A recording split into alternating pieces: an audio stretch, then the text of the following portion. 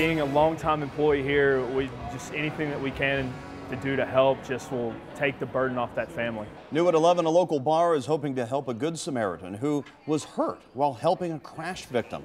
Reuben Hamm is an employee at Tin Roof at the Banks, and a GoFundMe page is now set up for his family. Nine on your side's Jake Ryle joins us now from UC Medical Center with an update on Hamm's condition.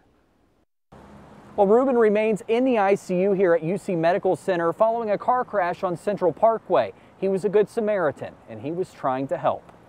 At Cincinnati's Tin Roof, You hate to see it happen to someone that's close to you. employees know his impact. The bar can't run without him. Reuben Hamm is known to his friends and coworkers as Rue. William Hodges says he's a hard worker. Mr. Like, what you need, Will? Got you. Mr. What do you need, Kayla? What do you need, Lindsay? What do you need, Mike? I, I got you.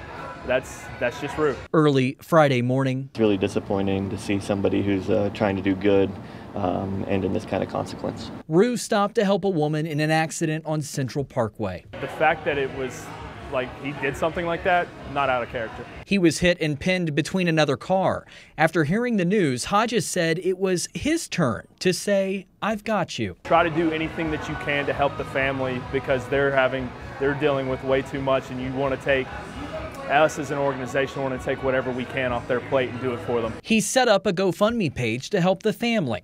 Rue has a skull fracture, a broken leg, multiple broken ribs, and damage to his vertebrae. Back at Tin Roof, a Friday night without their longtime bar back. It's going to miss a friend walking around making us all smile. The focus now on recovery. He'll get, he'll make it through. He's a fighter. Jake Ryle, 9 on your side.